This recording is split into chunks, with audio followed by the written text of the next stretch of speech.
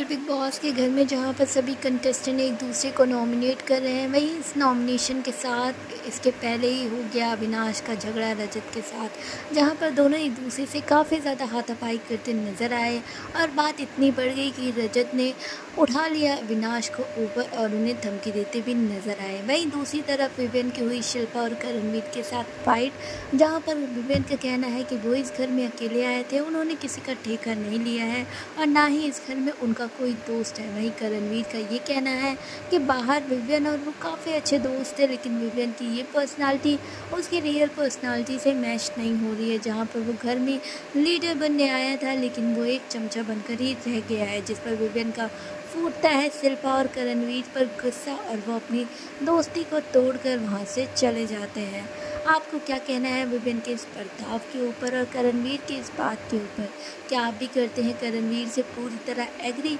अगर हाँ तो कमेंट में हमें लिखकर ज़रूर बताएँ और नहीं तो ये बताना कितना भूलें। सब्सक्राइब करें हमारे चैनल को आगे की सारी अपडेट्स के लिए।